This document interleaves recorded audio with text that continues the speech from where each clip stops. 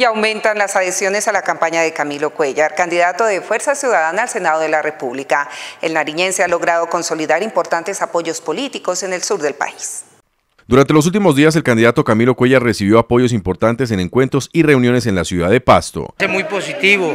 La gente ha respondido satisfactoriamente a nuestra propuesta política, que como ya lo he dicho, es una propuesta totalmente diferente, en donde no busca personalismo ni, ni tampoco caudillismo.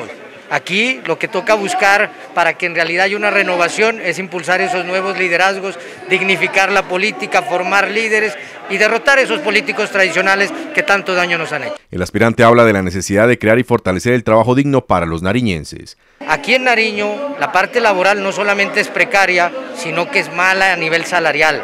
Aquí nosotros tenemos no solamente que generar más empleo, sino un buen empleo que les permita tener una buena remuneración para que los colombianos tengan un mejor y los nariñenses tengan un mejor vivir.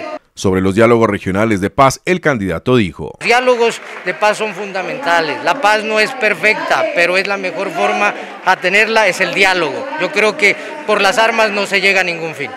Camilo Cuellar recorre el país con su movimiento político Dignidad, buscando alianzas y adhesiones para llegar al Senado de la República.